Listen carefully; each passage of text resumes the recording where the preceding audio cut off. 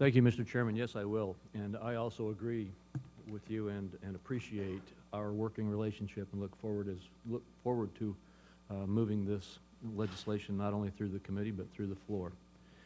Uh, This committee is set to approve housing finance reform legislation with a bipartisan majority.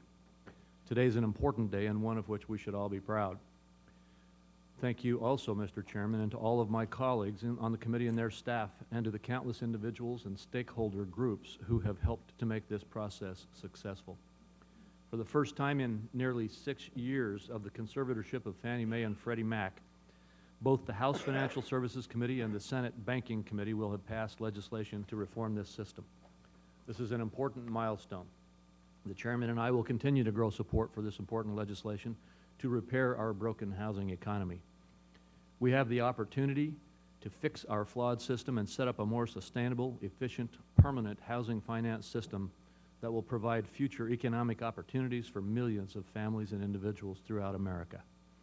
Again, I thank everyone for their continued work on moving this legislation and look forward to working with all of you as we continue to the finish line. Thank you, Mr. Chairman.